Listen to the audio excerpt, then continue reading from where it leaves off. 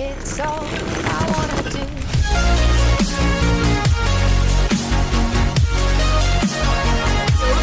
welkom bij een nieuwe video hier op mijn kanaal. Chesso, welkom bij een, eh, ja, een achteraf commentary hier op mijn kanaal natuurlijk. Zoals je op de achtergrond gameplay zien, zien jullie een Call of Duty Black Ops 3 gameplay opgenomen uit theatermodus.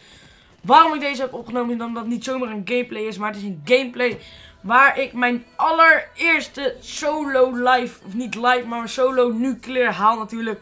Het is op de map Nuketown, de playlist Chaos Moshpit natuurlijk en het is Double XP weekend. Dus ehm, ik was op dit moment eh, level 55, dat zie je niet eh, door de theater eh, by the way, maar ik was hier level eh, 55 prestige 5.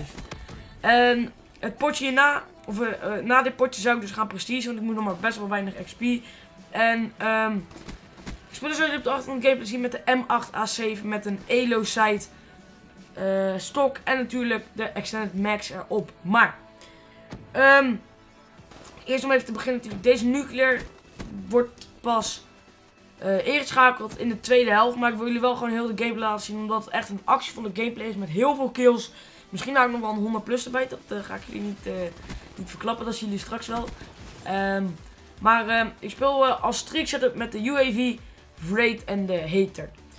Wat sowieso knap is, is een, o- is een nuclear halen met Wraith. Want de Wraith kan ook heel veel killen en zelfs heel veel kills stealen voor je. Maar ik had dus geluk dat de enemies mijn Wraith op een gegeven moment uitschoten, maar mijn Hater niet.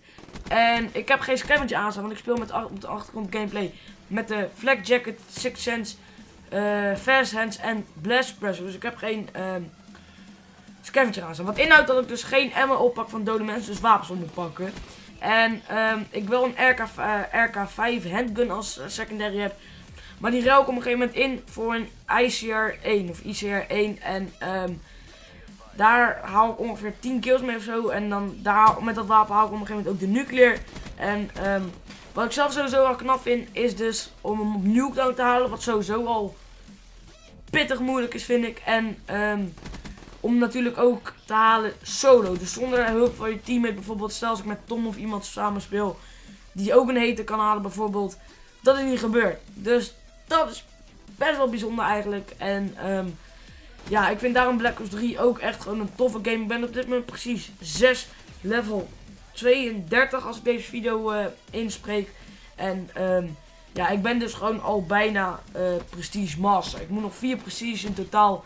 En dan is het gewoon al klaar. Dus dan ben ik eigenlijk, laat me zeggen, drie maanden nadat de game uit... Of, eh, ja, ik denk dat ik na drie maanden eh, dat de game uit is wel precies master ben. Ik denk al veel eerder, maar ik doe even een ruime schatting. Zodat ik het zelf wel kan halen, denk ik. Want ik ben nu al na twee weken, dus ehm, ben ik al prestige eh 6. En de game is op dit moment ik deze video dus eh, haalde twee weken uit. En in twee weken tijd ben ik dus al zes precies omhoog gegaan. En ehm, ja, dat is dus eigenlijk best wel, maar ook echt best wel veel. Want dan ben ik eigenlijk dus drie prestige in één week omhoog gegaan. Want 6 gedeeld door 2 is 3. Dus in een één week ga ik drie prestige omhoog. Dat kan ook wel kloppen, want nu met dubbel XP natuurlijk ben ik echt niet normaal hard gaan levelen natuurlijk.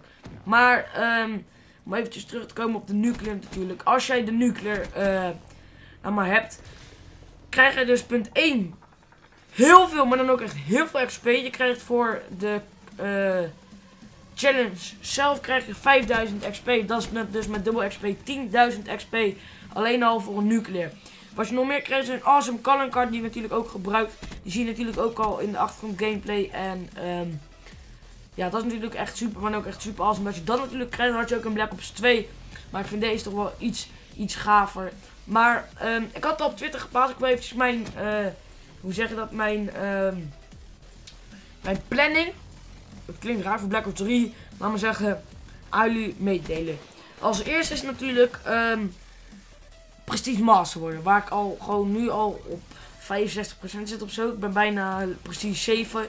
Dus dan zit ik al op 70%. Laten we zeggen dat we nu gewoon op 65% zitten. Dan ehm dat houdt in dat ik dat bijna al ben. Wat ik dus wil doen, na precies master, is proberen elk wapen diamond te halen of gold. Want als je elk wapen gold hebt, heb je het automatisch diamond. Waardoor je de dark matter camo krijgt. En dat ding is echt super awesome. Als je de video niet hebt gezien van Team Martin, moet je die even intikken. Of gewoon op YouTube Team, of uh, YouTube moet je gewoon even dark matter intikken. Dan krijg je automatisch video van Team Martin. En dan zie je dus de dark matter camo. En ja, dat is natuurlijk super, maar ook echt super awesome. Ik heb natuurlijk ook de serie lopen Road to Life, Road to Golden HVK 30. En um, als die dus voorbij is, ga ik een Road Golden Shiva uh, Assault Rifle doen natuurlijk. Daar heb ik helemaal niet mee gespeeld. Daar ga ik ook niet mee spelen totdat de...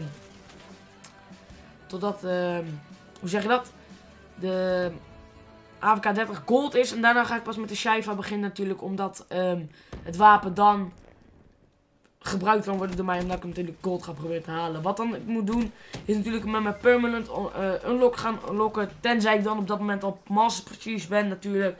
Want daar heb je natuurlijk ook best wel kans. Want um, in de tijd dat ik de serie de HVK 30 goud moet halen. Ben ik al drie precies omhoog gegaan of zo. Ik heb geen idee. Maar um, het gaat dus best wel lekker gewoon. Ik uh, vind dat het ook zo door moet gaan. Maar als ik dus de Dark Matter Camo gehaald heb. Wil ik bijna alle challenges wel gaan completen voor de specialist mannetjes. Zoals jullie weten heb ik dus, uh, dat weten jullie niet, maar dat weet ik zelf wel, de Reaper, oftewel de specialist waar ik nu mee speel, waar je uit de site op Psycho, Psycho kan kiezen. Um, heb ik die al helemaal geunlocked. Ik heb, uh, even kijken, de Annihilator heb ik al bijna helemaal unlocked. En um, al die specialists wil ik dus helemaal max gaan halen. Wat je dan juist krijgt is, dan krijg je een um, hero, of ik weet niet precies hoe het heet. Uh, krijg je dan als specialist en dan, uh, ja, dan ben je best wel speciaal natuurlijk. En als ik dat heb gedaan, wil ik graag de campaign uitspelen, waardoor je ook weer camo's krijgt voor jouw wapens natuurlijk. En later nog eens een keer zombies of iets, maar ik ben niet echt zo'n zombie fan. Ik weet dat Tim en Julian, als jullie deze video kijken, jullie vroegen dit weekend of ik uh, zombies wel gaan doen. Dat heb geen zin natuurlijk, want het is dubbel XP. Ja, het is ook dubbel zombie XP. Dat weet ik. Maar op de achtergrond gameplay pak ik hier nou de ICR op. En hier gaat de streak beginnen. Want hier gaat het snel jongens. Echt niet normaal. Mijn Ray zit hier in de lucht. Maar uh, ik heb hier de ICR aanstaan. Ik heb ook nog steeds M8 ammo. Maar uh, dan pak ik dadelijk opeens op omdat iemand een M8 voor me neerdropt. En dan uh, heb ik op een gekke manier weer ammo in mijn M8 zitten natuurlijk. En uh, ja, hier ben ik heel mooi te ontsnappen. Want ik draai daar om en dan word ik beschoten. Hier zo. Dan ga ik dadelijk gelijk hier zo. Huppakee, het raampje in. Waardoor ik die twee mensen daar kan killen. Of één is het er. Sorry, het is er eentje.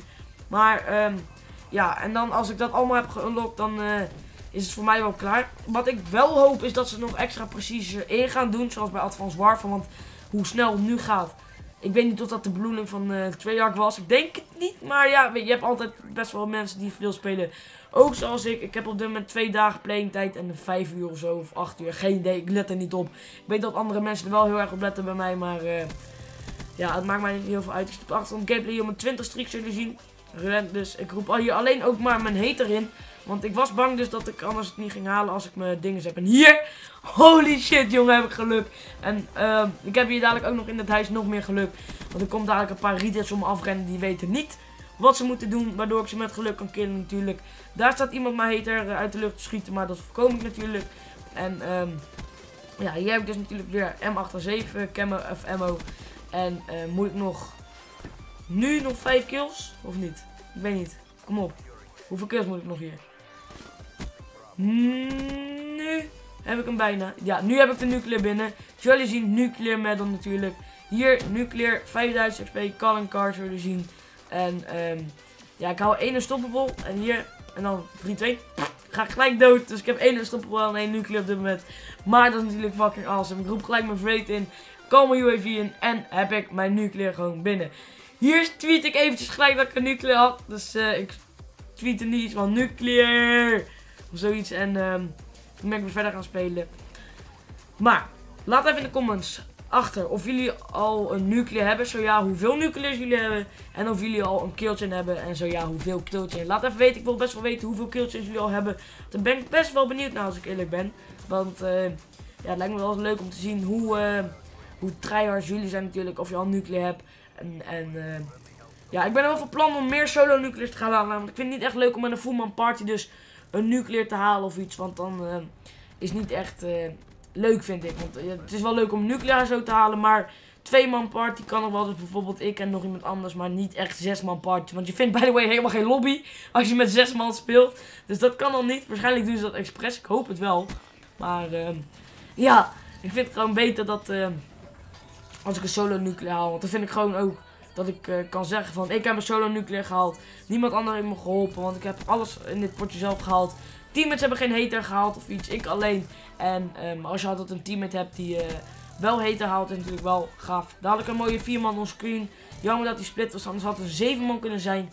En ja, dat heb ik in de video van dinsdag gehaald, als jullie die hebben gezien. Maar, laat het natuurlijk even in de comments weten hoeveel nucleus jullie al hebben en dat soort dingen. Dat wil ik wel graag zien. Ik hoop natuurlijk dat jullie genoten hebben van deze gameplay. Want um, ik heb hem gelijk voor jullie opgenomen dat ook werd gevraagd.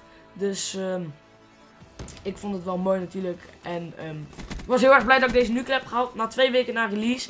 Terwijl ik eigenlijk niet voor aan het spelen was. Maar ik het bij zag. Dus jongens, mochten jullie genoten hebben van deze video. Laat alsjeblieft een blauw duimpje omhoog achter natuurlijk. Helpt mij enorm.